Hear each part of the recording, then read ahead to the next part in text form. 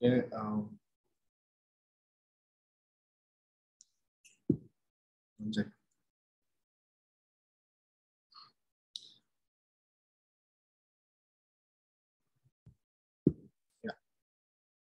I hope you guys can all hear me, see me. Uh, guys, welcome to our pre-match press conference ahead of tomorrow's game against uh, Bengal. Today's uh, press conference will be addressed by our head coach, uh, Des Buckingham. the process remains the same as always. If you have a question, please put your name in the chat box. And uh, once I take your name, you can ask your question.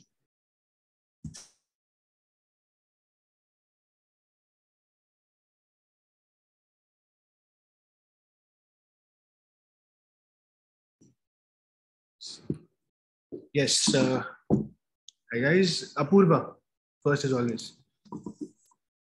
Yes. Uh, good afternoon, coach. This is Apurva from Gobion Sports. My question is to you that the club has announced the inclusion of Vinit Rai yesterday. According to you, what are the aspects that he would bring to the team for the next upcoming ongoing season? Sorry.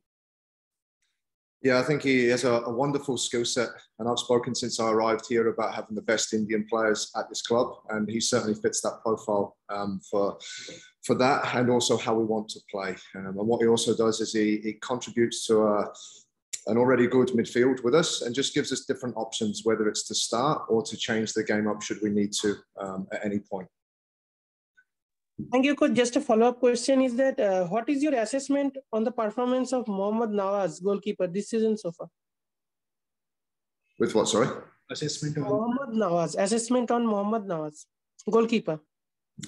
Yeah, well, Naz has played the the last nine game, uh, the last nine games, um, and I think it's you know it's it's easy to pull out mistakes. Um, but I think it's also important that you reflect upon the, the, nine games as a whole. You know, there's some important moments that goalkeepers especially don't get credit for um, when the team go on to get results. And I can certainly use examples off the top of my head, like Bengaluru, where he saves uh, he saves the penalty from Chhetri that allows us to go on and win that game. So, you know, it's it's not necessarily just about looking at, at mistakes. Um, it's making sure in the context of nine games that we've got a young 21 year old goalkeeper um, who hadn't played in nine months before this season started, but is also an experienced goalkeeper in playing over 50 games in this league. So I'm happy with him um, up until this point uh, as we look across the nine games. Thank you, coach. Thanks, Apurva. Ali. Uh, good afternoon, coach. This is Hali from Football in India. So, coach, you started the uh, season on a very positive note, winning five out of six games initially. But then after that, in the last three matches, you have uh, you have only been able to manage one draw and two losses. And in the meantime, you have considered 10 goals, which is obviously a not good number. So, according to you, what went wrong in the last three matches? We we've made um, too many too many mistakes uh, as a collective, as a team. Uh, we've made too many mistakes uh, individually, more so in the last game. So you look at the, the games, we've obviously gone back through and reviewed. Um, if there's a consistency to those mistakes, then that's something we can really uh, focus and work on. And that's something we did in the lead up to the last game. Um, but if they're individual mistakes, they do happen. And you hope that when they happen, they don't happen as often as they did maybe in the last game in particular. So um, across the context of the nine games rather than just the three, you know, we're, we're a very uh, young, um, I say young, we're in our infancy. It's only nine games that we've had together. We've had a lot of change, but across the nine games, not just the three that we've just played, um, I think we've played some extremely good football. Um, and the first half or the first 60 minutes of the last game, I was delighted with uh, the, the quality, the movement, and the chances that we created. It's just now about finding that balance and making sure that whether it's a collective or an individual, um, those mistakes, that they don't end up in the back of our goal. Okay, thank you, coach. Uh, just a follow-up question. What are your thoughts on your opponents, uh, East Bengal? They also haven't been able to register a single win this season. So how are you looking forward to the game? What's your strategy? it's uh, when, whenever you play a, a, team that's just had a change in coach, I think anywhere around the world, sometimes you see an uplift not just in performance but of results. So it's something that we're very aware of. Uh, and I'll go back to what I've said on here several times. I don't think it's um, where, where teams are in the league doesn't at the moment play a reflection maybe on the outcomes of some of the games that take place. So we're very aware of the threats they pose. We see an uplift in both performance and obviously the result from them in the last game. But the focus is, is on us and making sure that that 60 minute performance that we had against Odisha in the first half onwards, we need to make that more consistent across 90 minutes. And the focus will be making sure that defensively we are sound. Um, so we approach the game, but the focus is us. Okay, thank you and good luck for your next match. Thank you. Thanks, Ali. Uh, Arjit from Halfway Football. Am I audible, coach? Yes, I got you. Uh, okay, coach. Uh, I am Arjit from Halfway Football. Hope you're doing good. So I have two questions for you today. My first question is that uh, we saw Vignesh Dakshinamurthy being sucked off in the last match after suffering an injury. Uh, will he be available for selection for tomorrow's match? And also, are there any other injury concerns in the camp?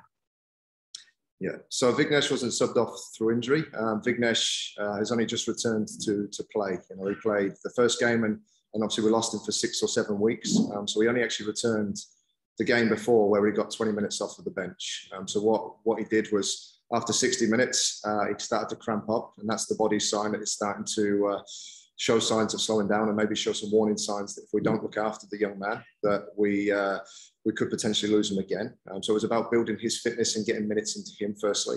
So we we made the decision for the player welfare and um, to get him off, but he's he's okay. He's recovered very well, and he's in contention again to start tomorrow.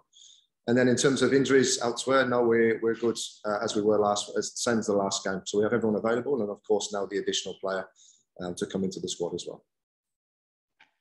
Okay, coach. Uh, one last question. What was your initial impression on the stunner from Ahmed Jahouh the last match, and what will you be expecting from him for tomorrow? I was very impressed with Jahouh, and I have been um, since the start of the season. Since I first arrived here, you know, he's such an influential player on the field, and he's been so consistent in his performances over the past couple of seasons in this league. To have someone that's so open-minded, uh, so willing to adapt his game uh, and not take away from his game, but actually try and develop and add to it, um, he's been an absolute pleasure to work with, and not only a pleasure to work with, but the quality of his play. You know, and Odisha, especially first half, all the way through to that 60-minute mark he's really taken a, a, grasp of that and is starting to drive into that position. So I'm very happy with Jahouh. And it's important now that he continues to perform and continues to develop his game to, to see how good we can get him. Okay, thank you, coach. Uh, wishing you all the best for tomorrow's match. Thank you. Thanks, Ajit. Harsh? Yeah, uh, good afternoon, coach. Uh, last season, Mumbai played with two foreign centre backs. So they had Fall and uh, Hernan Santana at the back, and they conceded 18 goals uh, in 20 matches this season, uh, in nine matches, Mumbai have conceded the same number of goals already. Uh, I know you said previously that uh, having just one foreign centre back doesn't put the team at a disadvantage. Would you still uh, stand by what you said, or do you think one foreign centre back is the lack of one foreign centre back is hurting the team? No, I'll stick to what I said. I think I'm, I'm very happy with the players that we have here.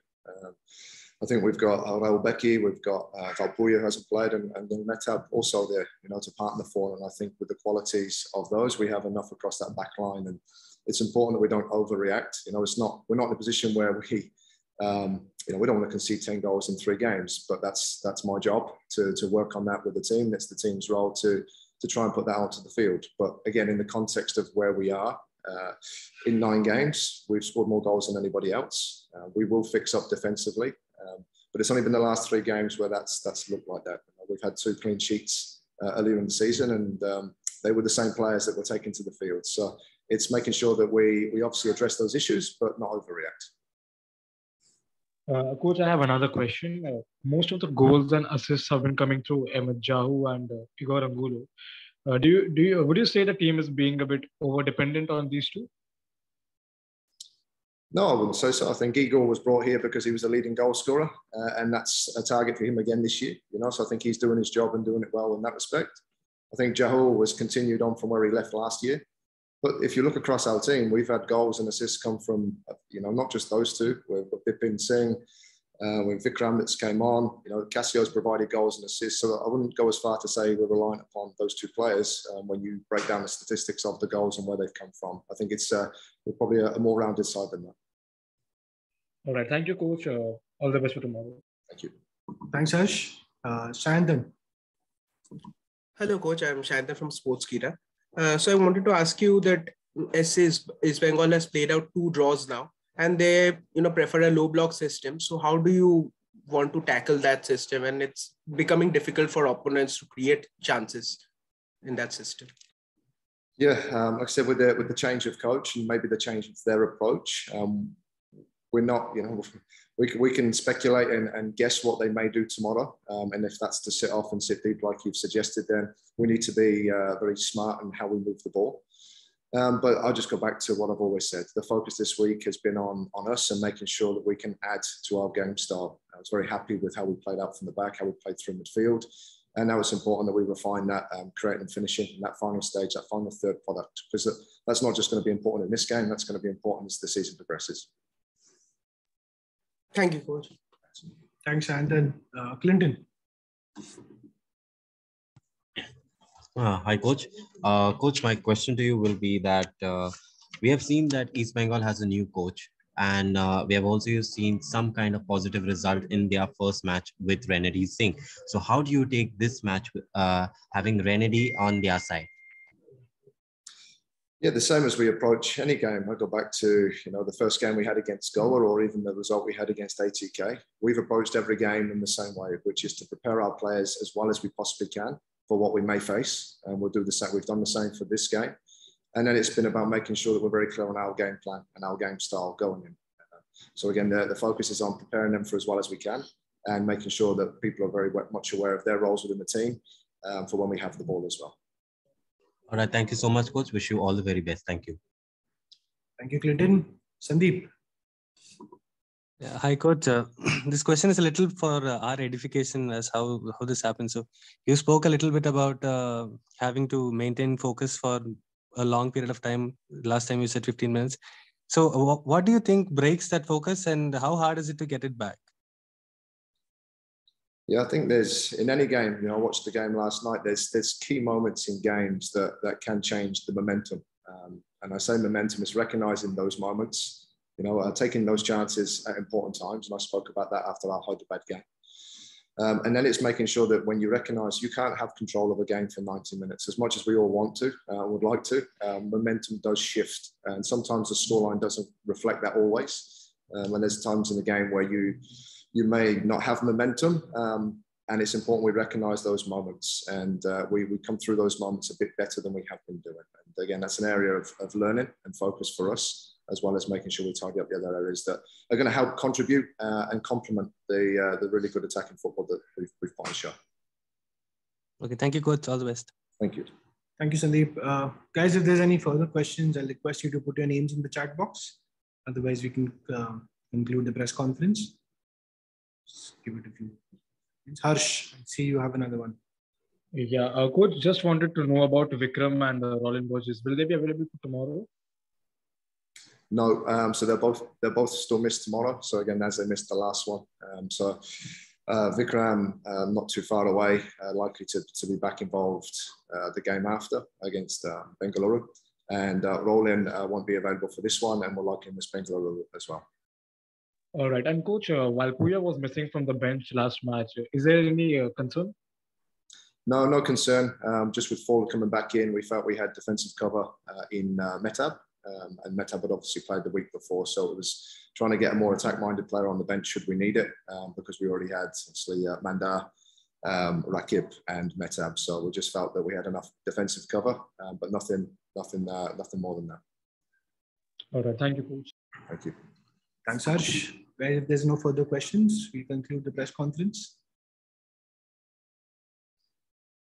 All right. Thank you so much, coach. Thank you. Thank you, guys. See you. Thank you, coach. Thanks, guys. We'll see you in three days' time ahead of our next game against uh, Bengaluru FC. Thank you.